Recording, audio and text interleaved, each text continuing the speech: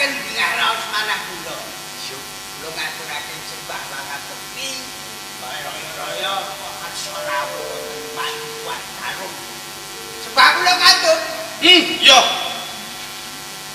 Wis tak tampa pengestuku tanpa rono yo Pak. Lah, ade kaje kula diwun. Ing wonten ugi kula sinuwun kula dewa kalaman sinuwun Prabu Sri Petra kula iki ngaturaken sungkem pinangka gedhe kula wonten ngarsa paduka sinuju. Hmm, iya, ya wis tak kompo.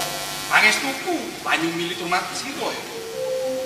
Nuwun pangestuku bo tumrap sira nyai. Nuwun inggih sanget anggen kula mundi sinuju. Lajeng wonten ing katos menapa tawon kersa. Ya yo Bagong. Aja dadi kaget teng atimu. awet aku lan koko prabu bolo dipo rawuh. Ana ing caruk kene pancen ana bab wigati kang bakal ndak dawuhake marang anakmu si Gotri lan uga bakal pitutur marang putraku Abimanyu. Napa wonten nepati anak kula ta, Bun? Ya bab perkara kuwi sisa-sisa kang padha nampani.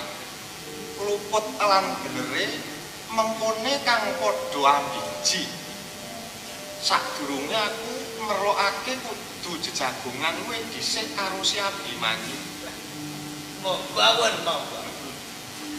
Kepareng patukung napa kuwi kang paring kamu? Hmm? Kowe kowe kowe kebut kula. Nggih. Oh yen aku malah kurang karo-karuan. Lah wong taksih rapi ngaten kok. Ora karo-karuan. Iya iki rapi jabane. Oh jero wis kowe wae kowe.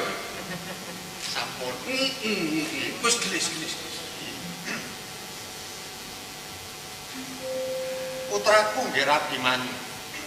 Kula wonten dawuh wong. pun gue bakal miterang marang sira pak perkoro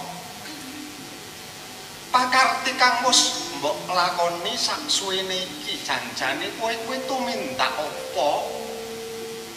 Mongko abimanyu den wenangake nglakoni tu apa wae mung kabeh mau. Aja nganti sira nggon rumahku merak marang anggrangger lan lumadining cakra kang wis ginaris dening Jawata. Wo Prabu.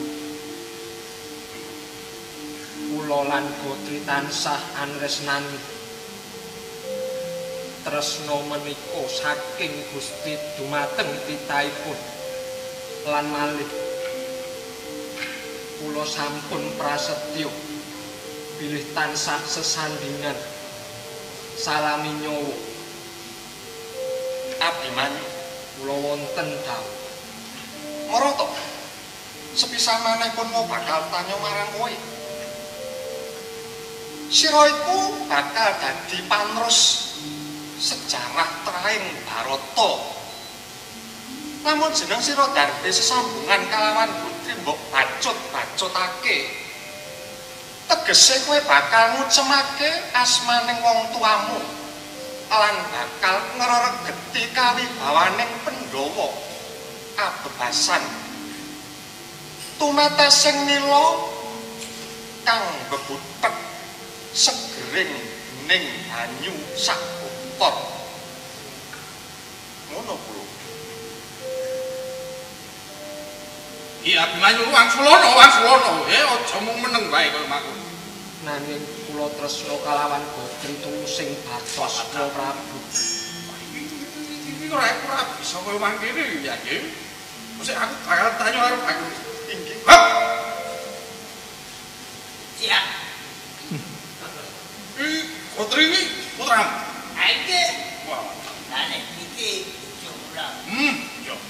Jangan kula takon karo kowe, eh. Kula wangsuli. Lho, iya, kudu diwangsuli. Aike monggo. Hmm. Iki sesambungane anakmu karo tulunanku Abimanyu. Wis panerten. Banjur kepiye kok kok meneng wae kepiye? Lah, Apa ora mbok kandhani ya anakmu? pun sawarine pambudidaya pun kula aturaken kalian Den Abimanyu. Hmm. Kula menika sampun kula rimpe. Pak tresnanipun Den Abimanyu kalian genduk Gotri niki. Nanging ditipu wau napa leres kang dipun ngendikaken Den Abimanyu katresnan niku kanugrahan kang tumetes wonten dalem manungsa wijakatipun Den Abimanyu. Boten saged dipun meksa lah kula. Napa? Wong tuwa niku nak gur marestoni ta, Bu? Lho ya bener bener kuwi bener. Lagi Tinemune yen tolong sesandingan priya lan wanita wis duweni katresnan kuwi ora bisa dipisahake nanging kowe apa ya ora mangerteni putramu kuwi sapa Abimanyu kuwi sapa eh kula nggih pun ngertos. Kula menika wong cilik. Nggih ngeten iki, wong cilik niku serba salah. Sanadyan to kuwi salah, ya salah, tambah salah. To? Sanadyan to kuwi bener, ya saya salah. Niku wong cilik. Ngaten niku. lah ya nanging kahanan kaya mangkene kowe iki melu bendaramu wis pirang dina pirang taun? Nggih niku wae. Mbok paduka menika jejering nalendra mbok duweni. Rasa welas. Mbok ketok, wong kula wong tuane we mangestoni kok. oh salah Lha kok jenengan dikon ku apa bapake? lho Lah kok ora ngetoke? lho lho lho lho lho lho wani kowe eh Oh, mboten iku cek. Ingkang salah. Aku sanes sampean. nanging kaya mangkene iki kowe sing luput hmm, kowe sing luput Nggih, kula dodok. Kula luput. Nek wong anak-anak niku do ngeyel. Sampun kula jangkenan. kowe sepisan maneh kandhani hmm? putramu kuwi kudu adoh saka pulunanku Abimanyu eh aja kaya mangkene iki aku